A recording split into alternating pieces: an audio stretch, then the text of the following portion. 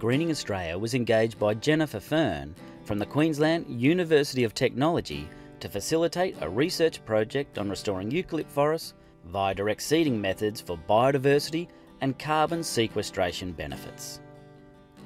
The project site is located in the Logan City Council area on a river flat of Scrubby Creek in Cedar Vale, 60 kilometres south of Brisbane.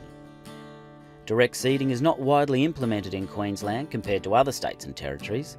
Thus, one of the main objectives was to test the success of implementing direct seeding rather than planting established tube stock. Another objective was to test the success of seed from various provenances or areas in order to return results regarding climate change and climate adaptation.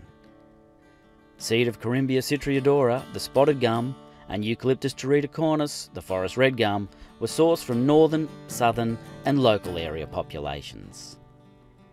Once the seeds were obtained, preparation began to construct seed balls, formed by combining the seed, fertiliser, clay, seaweed solution, and water together, a technique which provides protection to the seed and nutrients for when it germinates.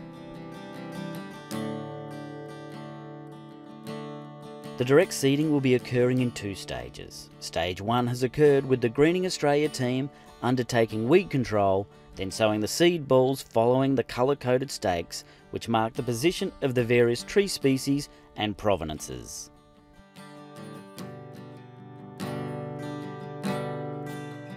The project has been a great success to date. Now it's time to play the waiting game until stage 2 when a further two species of nitrogen fixing acacia will be installed at the site. All involved hope to see some positive on ground results with the prospect of delivering long term resilient forests for the future.